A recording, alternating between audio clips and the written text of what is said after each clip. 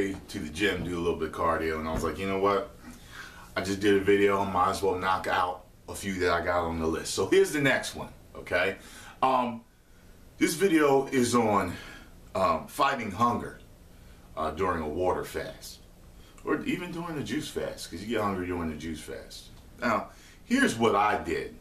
Okay, for my last uh, water fast. Okay, because a water fast is so hard. You understand? chewing and eating is very comforting people do it spontaneously for different reasons. Some do it for depression, some do it for agitation, anxiety, stress. Some people do it just to feel better, just it feels good. It's a past it's a pastime for them. You get what I'm saying? So, um, but what you can do, you can do, you can build up to a water fast. Okay, so what you do is, for the first day, see how long you can go just drinking water just drinking water. Just how long you can go. So you wake up, you know, six, seven, eight o'clock. From there on, just drink water until the it's killing you so much that you have to eat. Okay, log that time. If you could you couldn't get past lunch, okay, you got to 12 o'clock and you just had to fucking eat. Okay, that's fine. Eat. The next day, try to make it to 12:30 or make it to one. Okay. Next day after that, try to make it to 1:30 or one o'clock. You got what I'm saying? You keep going, you keep going, you keep going until you can get through the whole day just with one with water fasting. You got what I'm saying? And that way you can go through the next day into the next day into the next day. That's kind of what I did for this last one because water fasting is so hard, and I know y'all kind of wanted me to do a video on it. Y'all want me to talk about it. Y'all want to see me do one again.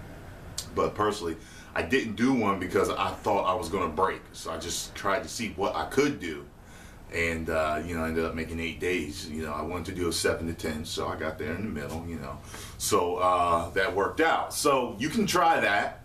Another thing you can do, and this does work. You've told heard me talk about this before. EFT. EFT um, helps. Uh, it's got emotional freedom transfer, uh, I believe, and it's uh, it's it's a way of touching. It's a, it's a form of acupressure that works on certain. I'm pointing to them right now. Pressure points and meridians um, that work with certain um, uh, cravings. It will get rid of certain ailments, diseases. It really will. Uh, habits, bad habits you have, thoughts. It really works. I've used it for a ton of things. Me and Sarah have used it for a while, for years. We've actually diffused fights by using it. There are uh, videos on YouTube about it, and there are websites for EFT. So look it up, Emotional Freedom Transfer, I believe it, like I said, what it's called. That can help on the spot. You'd be like, oh my God, I want to eat so bad. There's McDonald's. You do this technique, by the way, right away, it'll help diffuse it right away. You might have to do it a couple of times and it'll get rid of it. Trust me on this. So, yes, those are my two techniques for, for battling hunger. For you super macho men out there, like the first time I did it, I just, man, fuck it. I'm gonna do this. I'm gonna do this. This is my willpower. I'm a man. Ah! That's how I did it. You know what I mean? And I was dying. I was just like, oh god, get my stomach. You just hear it. You can just hear it all day long until finally it subsided. Realized it wasn't getting no food. It started burning fat and everything else. And I went from 205 down to 179. So in 10 days, that was crazy. So, all right, y'all got any more questions?